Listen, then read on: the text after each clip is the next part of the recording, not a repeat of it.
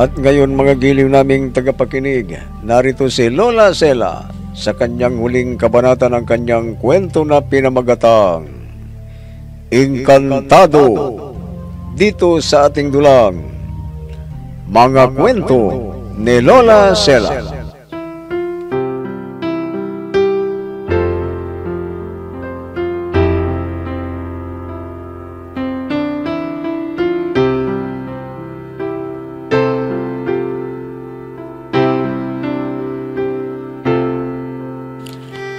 Nabaril ng bantay si Amad at tumakbo siya palayo.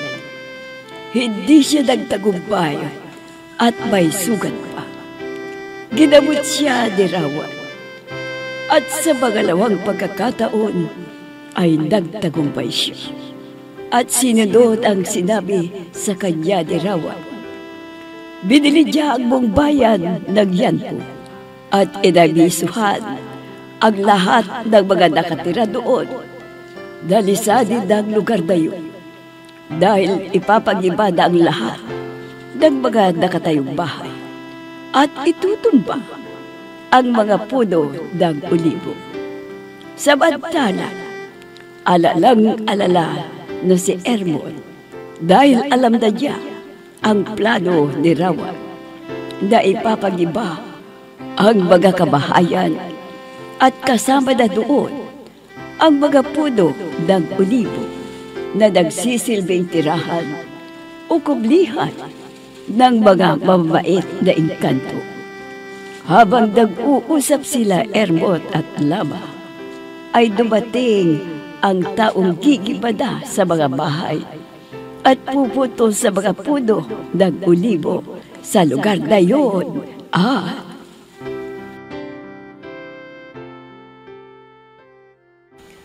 Ermot, wala na ang mga tao na nakatira dito. Tahimik na tahimik na sa lugar na ito. Hindi dapat magtagumpay si Rawan sa plano niya. Hadlangan natin siya. Bigo kami ni Shabana. Napakiusapan ng mga tao natutulan ang paggiban ng mga bahay. Napakasama talaga ni Rawan. Hindi ba siya mapakiusapan? Ano kaya? Kung subukan mo uli siyang pakiusapan. Paglalaroan niya ako kung makita niya ako. Ha? Ano yun? Lama! Ermot! Dumating na ang mga taong gigiba! At gigibain na ang bahay! At putulin ang mga puno ng oliba dito! Ha? Hindi. Hindi maaari. Hindi. Uh, Ermot! Saan ka pupunta? Ermot! Rawan, huwag mong idamay ang lahi namin. Huwag! Ako na lang gantian mo! Rawan! Wala ka nang magagawa, Pairmot! Gaganti ako sa pinaggagawa niyo sa akin. Gaganti ako! Sige, gibain ang lahat ng bahay at itumba ang mga puno ng ulibo dito. Sige na! Wag! Wag! Makakaganti na ako sa'yo!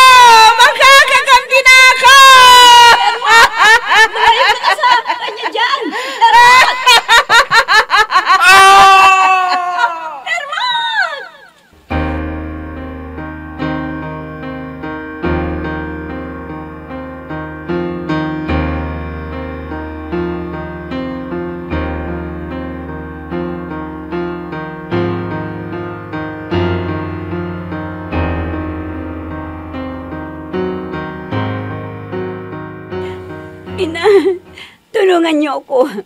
Iligtas natin si Ermot. Tulungan natin siya. Anak, huwag ka nang makialam sa away ng mga engkanto. Hayaan mo na lang sila para hindi ka madamay. Inay, katulad din natin silang nilikha ni Allah. Nakakatulong naman sila sa atin. Tulad ng nangyari kay Shabana. Ang nangyari kay Ama. Di ba sila ang tumulong para magamot sila? Kaya ina, tulungan natin. Eh ano maitutulong natin sa kanya? Ano? Ina, yung kausap ninyong espiritista, kailangan natin siya. Kailangan natin yung langis na bunga ng basinil. Anong gagawin sa langis ng bunga ng machinil? Ah, nakapag-alis ng kapangyarihan ng mga inkanto raw yun. Kapag naipahid yun kay Rawan, hihina ang kanyang kapangyarihan. Kaya sige na ina, tawagin na ninyo ang espiritistang yun. Sige na. Ah, sige. Pupuntahan ko siya sa bahay nila. Ngayon din.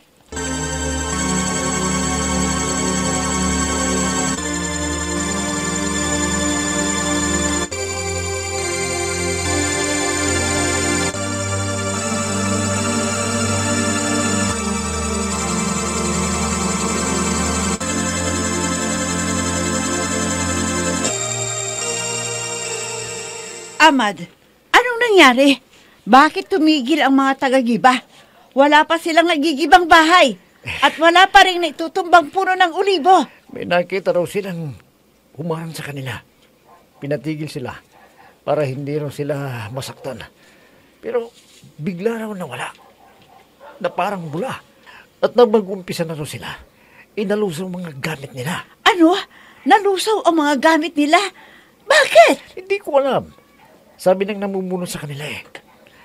Kailangan daw kumuha muna sila ng mga gamit para maumpisa na ang paggiba ng mga bahay at maputol na mga puno ng ulibo. Sige, sabihin mo, bilisan na nila. Dalian mo, Amad. Oo, Rawan. Sige, alis na ako. Sige, alam kong kagagawan ito ni Armand. Humanda ka. Mahuhulog ka rin sa aking mga kamay. At lilipulin ko ang lahat ng kalahi mo.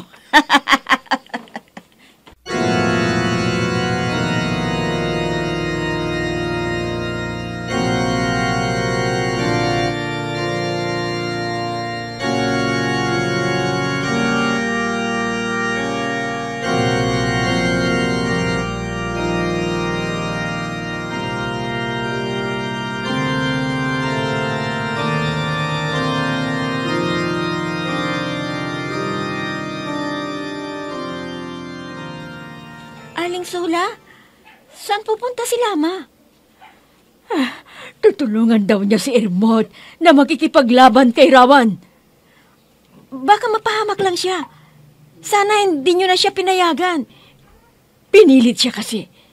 Hindi ko na siya napigilan. Di bale, may dala siyang langis ng bunga ng machinil. Anong gagawin niya sa langis na bunga ng machinil, Aling Sola? Yun daw ang gagamitin niyang sandata laban sa rawan na yun. Dahil nagpapawalang bisa pala sa kapangyarihan ng mga engkanto ang langis na yun. Mm, ganun po ba? Sana hindi siya mapahamak sa gagawin niya. Ah, sana nga siya, Bana. Dahil kung may masamang mangyayari sa anak ko, baka ikamatay ko. Ah, Aling Sola.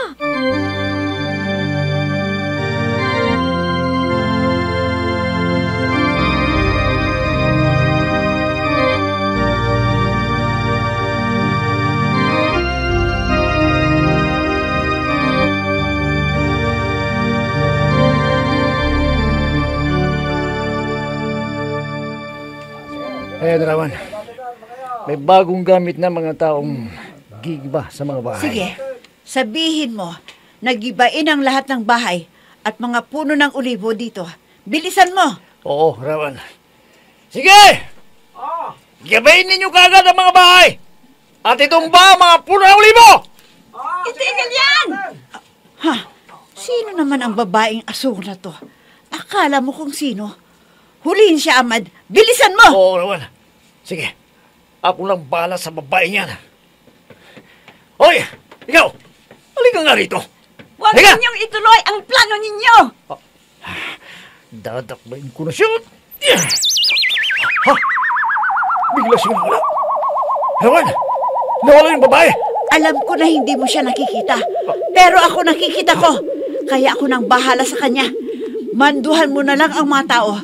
At umpisahan na kaagad ang pagigiba sa lahat ng mabahay. At pagtumba sa mga puno ng ulibo. Oo, sige. Ikaw nang bahala sa babaeng yun.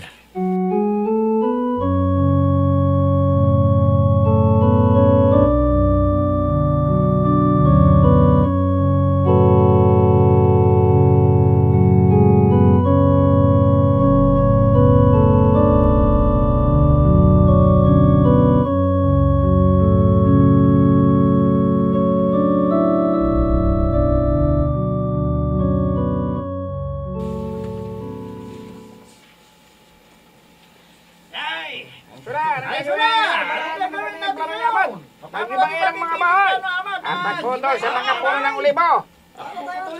Ermot, ano raw ang gagawin nila? Para makatulong sila sa paghadlang sa pagiba nila sa mga bahay at pagputol sa mga puno ng ulibo. Kailangan na magdasal kayo para mapahina ang kapangyarihan ni Rawan at hindi na siya makapaghasik ng kasamaan. Ah, sige. Yan na lang ang gagawin namin. Ah, mga kadayon! Magdasal daw tayo para humina ang kapangyarihan ni Rawan at hindi na siya makapaghasik pa ng kasamaan. Ah, sige, sige, sige, umpisa na natin. Ah, sige, sige, umpisa na natin ang magdasal kay ala. Oo! Ah, Inilig ko sa inyo ang apiya. Makapangyarihan na sa umiling sa ala. Ang kahulugan, kaligtasan at proteksyon mula sa landang uri ng panganib at sakit. Ang panalangin nito ay mga kahulugang patigilin ng pagkasik ni Rawan ng kasamaan. O Allah, kami ang humingi ng proteksyon laban sa masamang asal, gawain, hilig, at mga sakit. Aling Sola, kung may natitira pang langis na bunga ng machinel sa inyo, pahiran lahat ng mga noon ng mga naririto para magkaroon sila ng sandata laban sa kapangyarihan ni Rawan. Oo, meron pa. Marami ang binigay sa akin nung espiritista. Sige na, Aling Sola. Pahiran niyo na kaagad ng langis ang mga noon nila.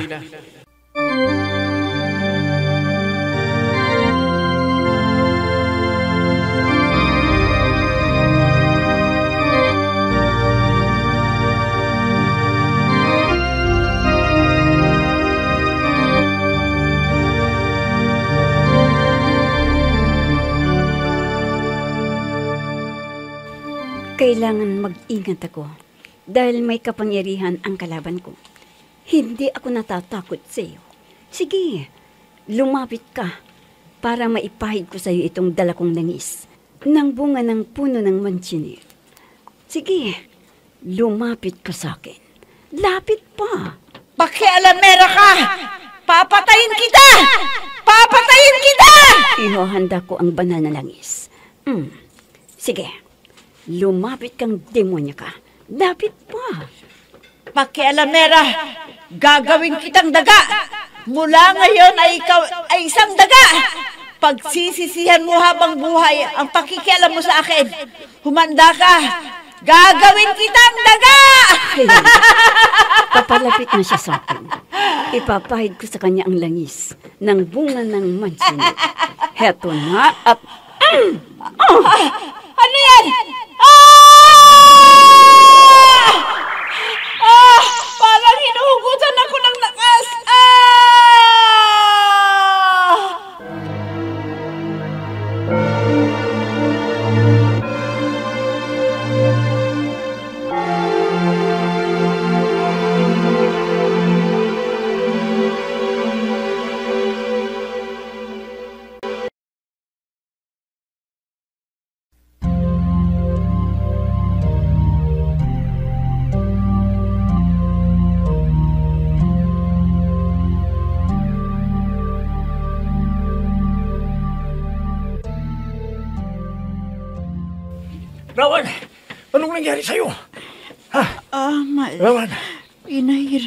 Ng langis ang bunga ng puno ng machinel ng babae yun.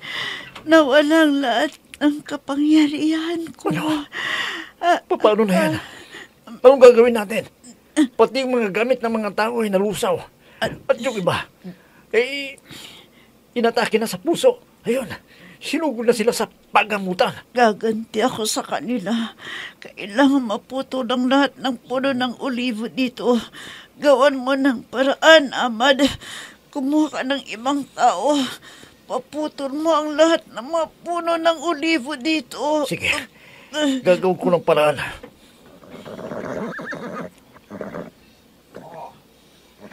Prinsipe Ahmad! Pulisya militar kami!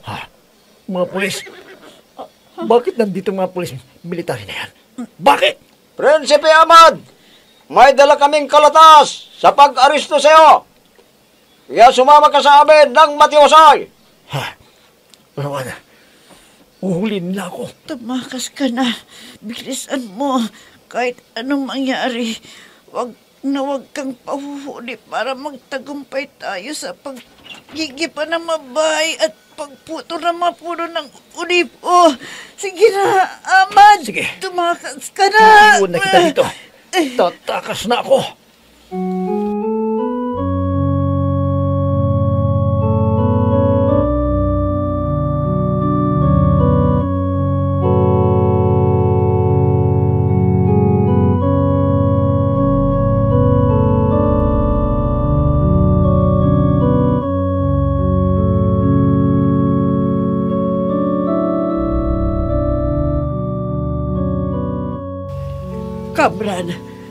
Sabi ng taga-tiktik nating kawal, tinutugis na raw ng pulis military ang anak natin dahil sa kasong pagnanakaw sa isang imbakan ng pera at pilag.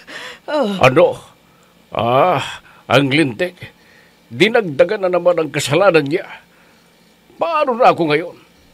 Paano na ang pangalan ko? Mananalo pa kaya ako sa pagkapinuno ng mga hari? Kamran, tulungan natin ang anak natin. Ayaw kong makulong siya. Maghanap ka ng magaling na tagapagtanggol para maabswelto ang anak natin. Ah, hindi, Rimas. Hayaan na lang natin siyang mahatulan para magtanda. Paano kung mapatay ng mga pulis militar na humahabol sa kanya? Di mas maganda kung mapatay nila para wala na akong problema. Kapran, sige, kung ayaw mong tulugan ang anak natin, ako na lang na mag-isa ang tutulong sa kanya. At kahit maibenta ko ang lahat ng ating ari-arian, basta maabswelto si Abad. Rimas! Hayop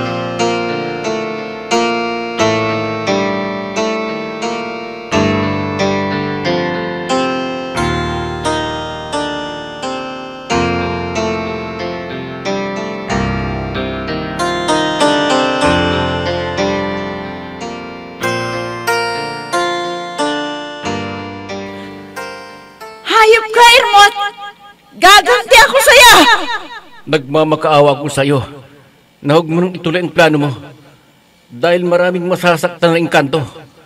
Pero ayaw mong makinig sa akin.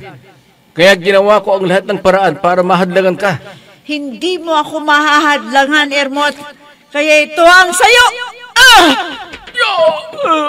Aray ko, bakit mo ko sinaksak sa dibdib? Kukunin ko ang hiyas ng kapangyarihan sa'yo para magamit ko at maipagpatuloy ko ang plano ko. Wala kang makukuha sa akin. Dahil ipinagkatiwala ko na sa isang tao. Ano? Hayop ka talaga, Hermod. Ikaw ang hadlang sa mga pangarap ko. Papatayin na kita! Papatayin na kita! Ah, ah, ah, ah, hindi ko maigalaw ang aking mga kamay.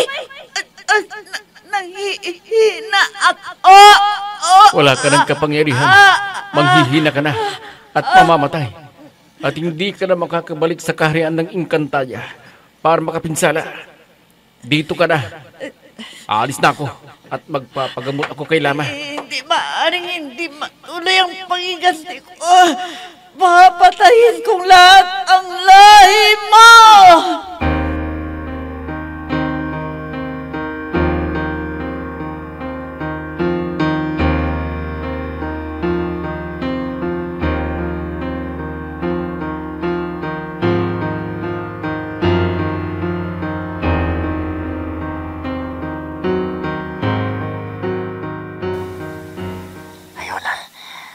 Natakasan ko ng mga pulis military.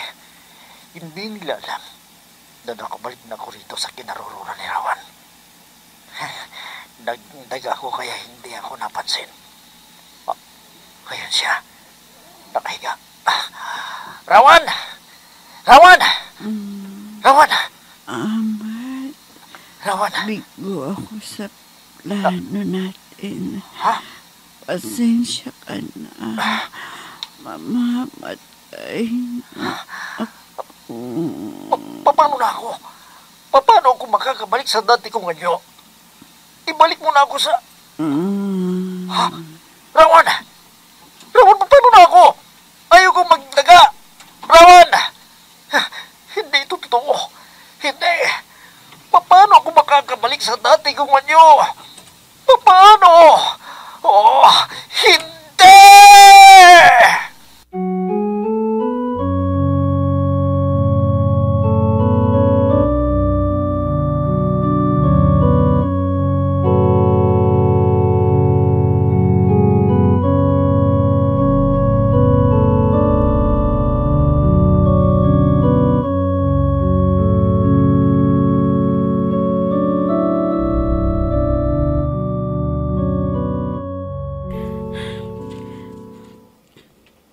Maraming salamat sa iyo, Lama.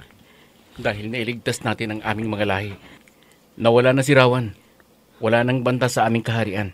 Ermon, parang hindi ko yata kayang tanggapin na mawawala ka na dito sa amin.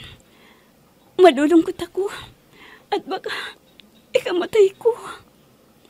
Ako rin, Lama. Subalit wala na tayong magagawa. Dahil paubos na ang oras kong mamamalagi dito. Ang ibig mong sabihin, aalis ka na ngayon. Oo, Lama. Alam mo, sa pamamalagi ko rito, ay nakaramdam ako ng pag-ibig sa iyo.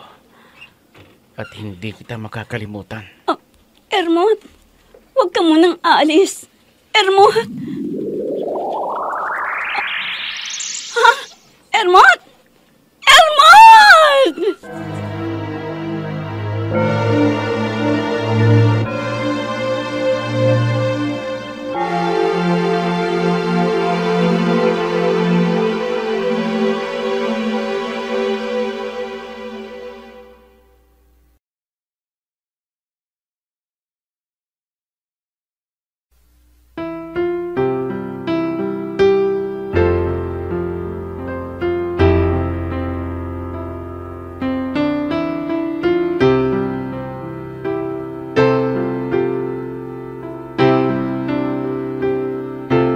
Hindi nagtagumpay ang plano ni Rawan na sirain ang buong kaharian ng Encantadia.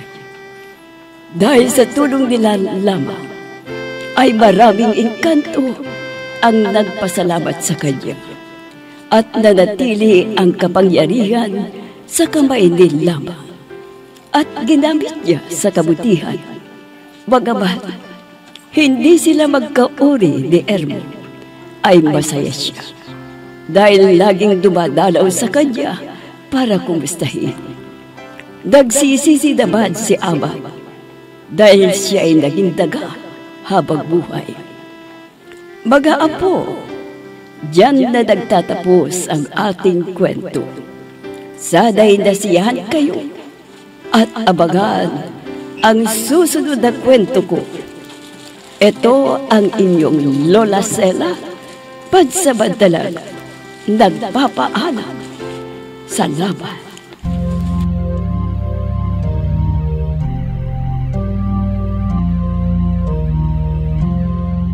Mga giliw naming tagapakinig, dyan na nagtatapos ang ating kwento na pinamagatang Inkantado dito sa ating dulang.